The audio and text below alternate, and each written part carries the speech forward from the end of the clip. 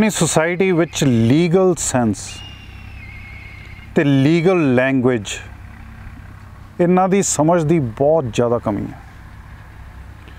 Legal expert ਵੀ ਮੇਰੇ ਨਾਲ ਇਹ ਕਾਨੂੰਨਾਂ ਬਾਰੇ ਭਾਸ਼ਣ ਦੀ ਭਾਸ਼ਾ 'ਚ ਹੀ ਗੱਲ ਕਰਦੇ ਸੀ।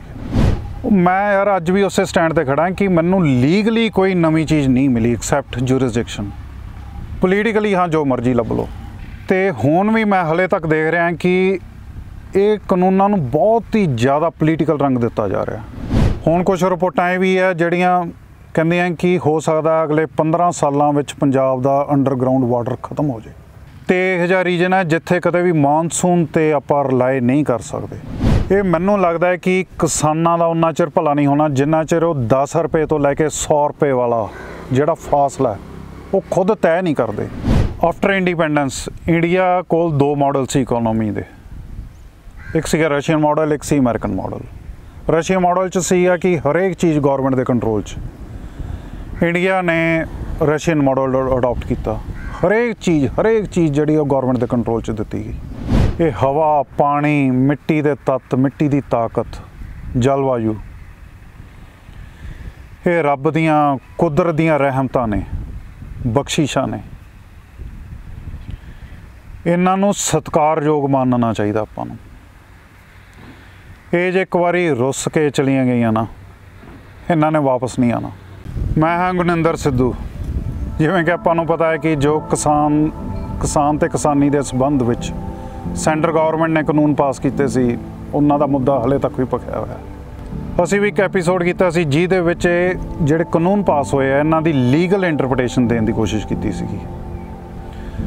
ਉਸ ਐਪੀਸੋਡ ਦਾ ਸਾਨੂੰ ਕਾਫੀ ਇੰਟਰਸਟਿੰਗ ਫੀਡਬੈਕ ਮਿਲਿਆ। ਕਈਆਂ ਨੇ ਬਹੁਤ ਐਪਰੀਸ਼ੀਏਟ ਕੀਤਾ, ਦਿਲੋਂ ਐਪਰੀਸ਼ੀਏਟ ਕੀਤਾ ਤੇ ਅਸੀਂ we are really thankful to them for that encouragement ਹਾਂ, ਕਈਆਂ ਨੇ ਹੀਟਡ ਡਿਬੇਟਸ ਵੀ ਕੀਤੀਆਂ ਸਾਡੇ ਨਾਲ ਤੇ ਉਹ ਜੋ ਵੀ ਫੀਡਬੈਕ ਹੈ ਅੱਜ ਦਾ ਐਪੀਸੋਡ ਉਹਦੇ ਵਿੱਚੋਂ ਹੀ ਲੈ ਕੇ ਤੁਹਾਡੇ ਸਾਹਮਣੇ ਆਏ ਆ ਤੇ ਕੁਝ ਜ਼ਿਹਨ ਚ ਗੱਲਾਂ ਹੈ, ਖੇਤੀ ਬਾਰੇ ਜੋ ਮੈਂ ਤੁਹਾਡੇ ਨਾਲ ਸ਼ੇਅਰ ਕਰਨੀਆਂ ਚਾਹੁੰਦਾ।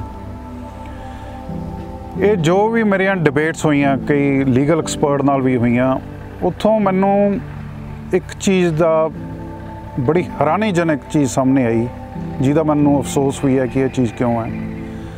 ਉਹ ਹੈ ਕਿ ਆਪਣੀ ਸੁਸਾਇਟੀ ਵਿੱਚ ਲੀਗਲ ਸੈਂਸ ਤੇ ਲੀਗਲ ਲੈਂਗੁਏਜ ਇਹਨਾਂ ਦੀ ਸਮਝ ਦੀ ਬਹੁਤ ਜ਼ਿਆਦਾ ਕਮੀ ਹੈ। ਲੀਗਲ ਐਕਸਪਰਟ ਵੀ ਮੇਰੇ ਨਾਲ ਇਹ ਕਾਨੂੰਨਾਂ ਬਾਰੇ ਭਾਸ਼ਣ ਦੀ ਭਾਸ਼ਾ 'ਚ ਹੀ ਗੱਲ ਕਰਦੇ ਸੀ। ਉਹ ਕਾਨੂੰਨ ਨੂੰ ਵੀ ਪੋਲੀਟੀਸਾਈਜ਼ ਕਰ ਰਹੇ ਸੀ, ਉਹਨੂੰ ਵੀ ਰਾਜਨੀਤਿਕ ਰੰਗ ਦੇਣ ਦੀ ਕੋਸ਼ਿਸ਼ ਕਰ ਰਹੇ ਸੀਗੇ।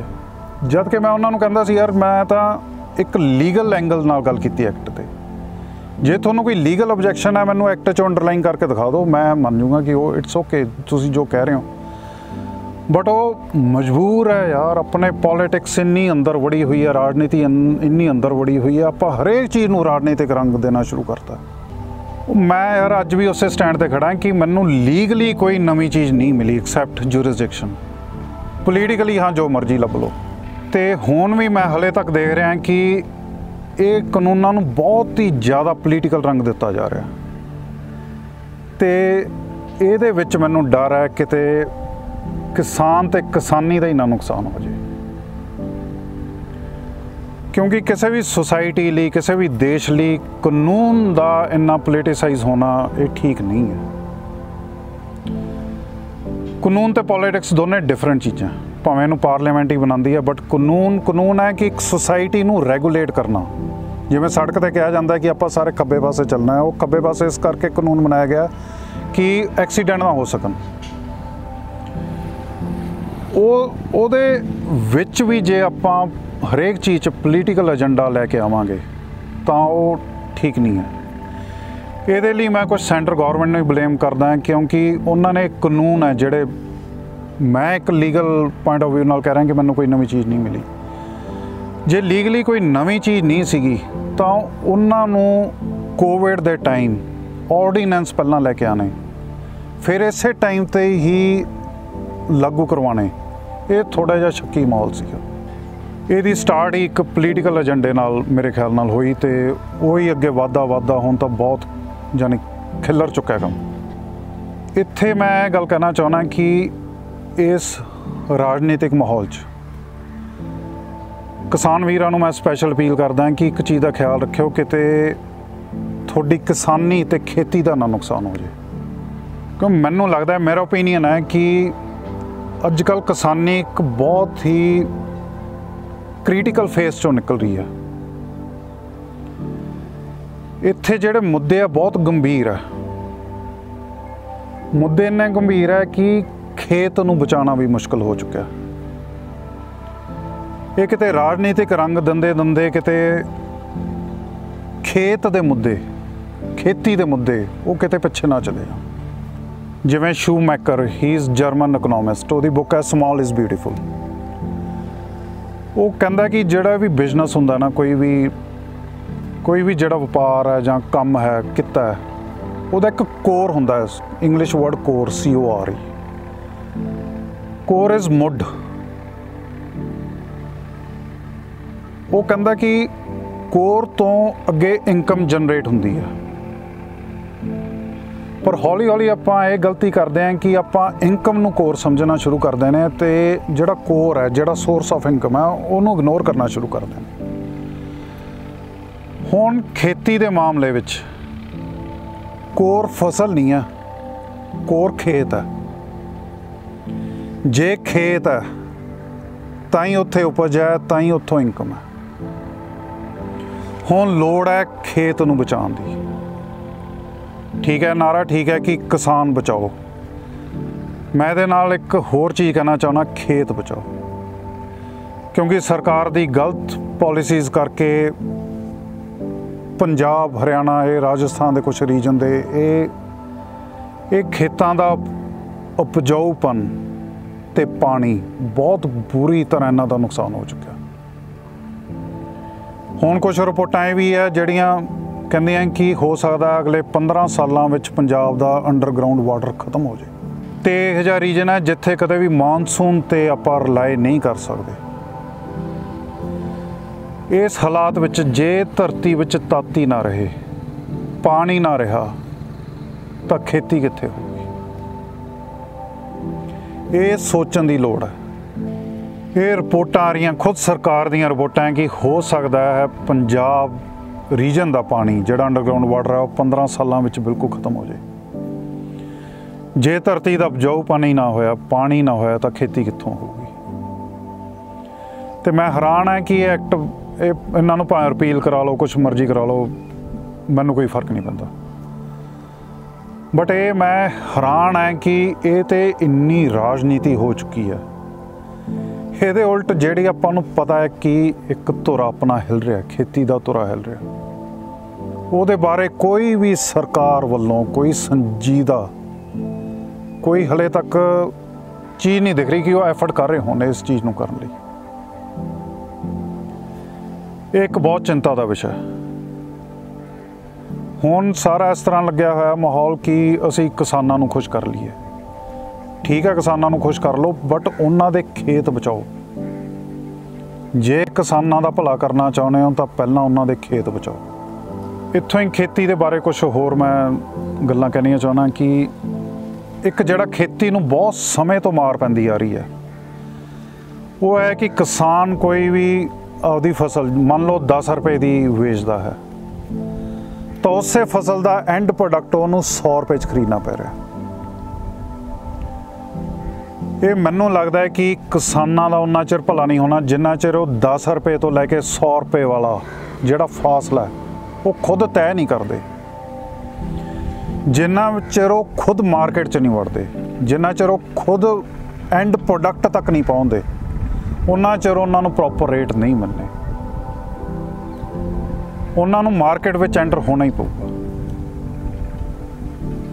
ਇਹ ਭਾਵੇਂ ਬਹੁਤ ਔਖਾ ਹੈ, ਇਹਨੂੰ ਟਾਈਮ ਹੀ ਲੱਗ ਸਕਦਾ ਬਟ ਇਹਦੀ ਸ਼ੁਰੂਆਤ ਹੋਣੀ ਮੈਨੂੰ ਲੱਗਦਾ ਕਿ ਜ਼ਰੂਰੀ ਹੈ। ਨਹੀਂ ਤਾਂ ਕਿਸਾਨ ਨਾਲ ਹਮੇਸ਼ਾ ਹੀ ਧੱਕਾ ਹੁੰਦਾ ਰਹੇਗਾ, ਉਹ 10 ਰੁਪਏ ਦੀ ਚੀਜ਼ ਬਣਾ ਕੇ ਵੇਚੇਗਾ ਤੇ 100 ਰੁਪਏ ਦੀ ਖਰੀਦੇਗਾ। ਫਿਰ ਇੱਕ ਮੈਨੂੰ ਲੱਗਦਾ ਹੈ ਕਿ ਕਿਸਾਨੀ ਲੋੜ ਤੋਂ ਵੱਧ ਸਰਕਾਰ ਤੇ ਡਿਪੈਂਡੈਂਟ ਹੋ ਚੁੱਕੀ ਹੈ। ਤੇ ਤੁਹਾਨੂੰ ਮੈਂ ਦੱਸਾਂ, ਸਰਕਾਰਾਂ ਤੋਂ ਬਾਹਲੀ ਉਮੀਦ ਲਾਉਣ ਦੀ ਲੋੜ ਨਹੀਂ। ਇਹ ਥੋੜਾ ਜਿਹਾ ਮੈਂ ਸਮਾਂ ਲੈਂਦੇ ਹੋਏ ਥੋੜਾ ਤੁਹਾਨੂੰ ਆਪਣੀ ਇਮੀਡੀਏਟ ਹਿਸਟਰੀ ਬਾਰੇ ਦੱਸਦਾ, ਇੰਡੀਆ ਦੀ ਹਿਸਟਰੀ ਬਾਰੇ। ਇਹ ਰਾਜਿਆਂ ਦੀ ਹਿਸਟਰੀ ਨਹੀਂ ਕਾਮਨ ਲੋਕਾਂ ਦੀ ਹਿਸਟਰੀ ਹੈ। ਫਰੈਡਰਿਕ ਨਿਟਸ਼ੇ ਵੀ ਕਹਿੰਦਾ ਕਿ ਇਤਿਹਾਸ ਰਾਜਿਆਂ ਦਾ ਨਹੀਂ ਹੁੰਦਾ, ਆਮ ਲੋਕਾਂ ਦਾ ਹੋਣਾ ਚਾਹੀਦਾ। ਆਫਟਰ ਇੰਡੀਪੈਂਡੈਂਸ ਇੰਡੀਆ ਕੋਲ ਦੋ ਮਾਡਲ ਸੀ ਇਕਨੋਮੀ ਦੇ। ਇੱਕ ਸੀਗਾ ਰਸ਼ੀਅਨ ਮਾਡਲ ਇੱਕ ਸੀ ਅਮਰੀਕਨ ਮਾਡਲ ਰਸ਼ੀਅਨ ਮਾਡਲ ਚ ਸੀਗਾ ਕਿ ਹਰੇਕ ਚੀਜ਼ ਗਵਰਨਮੈਂਟ ਦੇ ਕੰਟਰੋਲ 'ਚ। ਇੰਡੀਆ ਨੇ ਰਸ਼ੀਅਨ ਮਾਡਲ ਅਡਾਪਟ ਕੀਤਾ। ਹਰੇਕ ਚੀਜ਼ ਹਰੇਕ ਚੀਜ਼ ਜਿਹੜੀ ਉਹ ਗਵਰਨਮੈਂਟ ਦੇ ਕੰਟਰੋਲ 'ਚ ਦਿੱਤੀ ਗਈ। ਪਰ ਇੰਨੀ ਜ਼ਿਆਦਾ ਕਰਪਸ਼ਨ ਹੋ ਗਈ, ਇੰਨੀ ਰੈੱਡ ਟੇਪਿਜ਼ਮ ਹੋ ਗਈ, ਕੋਈ ਕ੍ਰੀਏਟੀਵਿਟੀ ਨਹੀਂ, ਕੋਈ ਨਵੀਂ ਚੀਜ਼ ਨਹੀਂ, ਸਾਰਾ ਯਾਨੀ ਅਫਸਰ ਲੀਡਰ ਉਹੀ ਸਰਮਾਇਦਾਰ ਬਣ ਗਏ, ਉਹਨਾਂ ਨੇ ਐਕਸਪਲੋਇਟ ਕੀਤਾ। ਤੇ ਅਲਟੀਮੇਟਲੀ 1990s 1990 ਦੇ ਦਹਾਕੇ ਵਿੱਚ ਹਾਲਾਤ ਇਹ ਆ ਗਏ ਸੀਗੇ ਕਿ ਇੰਡੀਆ ਦੇ ਭਾਂਡੇ ਵਿਕਣ ਵਾਲੇ ਸੀਗੇ। ਆਰਬੀਆਈ ਤੋਂ 골ਡ ਗਿਰਵੀ ਰੱਖਣਾ ਪਿਆ ਸੀਗਾ। ਉਸ ਟਾਈਮ ਤੇ ਸਰਦਾਰ ਮਨਮੋਹਨ ਸਿੰਘ ਫਾਈਨੈਂਸ ਮਿਨਿਸਟਰ ਬਣੇ। ਉਹਨਾਂ ਨੇ ਮਾਰਕੀਟ ਨੂੰ ਓਪਨ ਕੀਤਾ, ਇਹਦੇ ਵਿੱਚ ਪ੍ਰਾਈਵੇਟ ਪਲੇਅਰ ਲਿਆਂਦੇ। ਤਾਂ ਜਾ ਕੇ ਇੰਡੀਆ ਕਿਤੇ ਕੁਝ ਖੜਾ ਹੋਇਆ। ਹਲੇ ਉਹ ਤੋਂ ਬਾਅਦ ਵੀ ਕੁਝ ਸਰਕਾਰੀ ਅਦਾਰਿਆਂ 'ਚ ਕੁਝ ਫ਼ਰਕ ਪਿਆ, ਪਰ ਹਲੇ ਵੀ ਬਹੁਤ ਮਾੜਾ ਹਾਲ ਹੈ। ਮੈਂ ਜੇ ਖੁਦ ਇੱਕ ਪਾਸੇ ਮੈਨੂੰ ਸਰਕਾਰੀ ਅਦਾਰੇ ਨਾਲ ਤੇ ਇੱਕ ਪਾਸੇ ਪ੍ਰਾਈਵੇਟ ਕੰਪਨੀਆਂ ਨਾਲ ਡੀਲ ਕਰਨਾ ਪਏ ਨਾ, ਮੈਂ ਪ੍ਰਾਈਵੇਟ ਕੰਪਨੀ ਨੂੰ ਪ੍ਰੈਫਰ ਕਰੂੰਗਾ। ਪ੍ਰਾਈਵੇਟ ਕੰਪਨੀਆਂ ਦਾ ਕਮ ਸੇ ਕਮ ਕਸਟਮਰ ਕੇਅਰ ਤਾਂ ਹੈ। ਉਹਨਾਂ ਦੇ ਕਿਸੇ ਸੀਈਓ ਨੂੰ ਮਿਲ ਸਕਦੇ ਆ ਕਿਸੇ ਵੱਡੇ ਮੈਨੇਜਰ ਨੂੰ ਮਿਲ ਸਕਦੇ ਆ ਸਰਕਾਰ ਦੇ ਯਾਰ, ਦੇਖਿਆ ਤੁਸੀਂ ਹਾਲਾਤ। ਨਾਲੇ ਹੋਰ ਦੱਸਾਂ, ਸਰਕਾਰਾਂ 'ਚ ਇੰਨੀ ਕਰਪਸ਼ਨ ਨਾਲ ਇੰਨੀ ਨਲੈਕੀ ਆ ਚੁੱਕੀ ਹੈ ਨਾ। ਹੁਣ ਤੁਹਾਨੂੰ ਇੱਕ ਐਗਜ਼ਾਮਪਲ ਦੇਣਾ ਕਿ ਸਰਕਾਰੀ ਯੂਨੀਵਰਸਿਟੀਆਂ, ਸਰਕਾਰ ਵੱਲੋਂ ਸਟੈਬਲਿਸ਼ ਕੀਤੀਆਂ ਹੋਈਆਂ ਯੂਨੀਵਰਸਿਟੀਆਂ, ਜਿਹੜੀਆਂ ਇਕਨੋਮਿਕਸ ਕਮਰਸ ਮੈਨੇਜਮੈਂਟ 'ਚ ਉੱਚ ਵਿੱਦਿਆ ਦੇ ਰਹੀਆਂ। ਪੋਸਟ ਗ੍ਰੈਜੂਏਸ਼ਨ ਕਰਾ ਰਹੀਆਂ ਇਵਨ ਡੀ ਕਰਾ ਰਹੀਆਂ, ਡਾਕਟਰੇਟ ਬਣਾ ਰਹੀਆਂ। ਇਕਨੋਮਿਸਟ ਕਲੇਮ ਕਰਦੇ ਕਿ ਅਸੀਂ ਇਕਨੋਮਿਸਟ ਪੈਦਾ ਕਰ ਰਹੇ ਹਾਂ।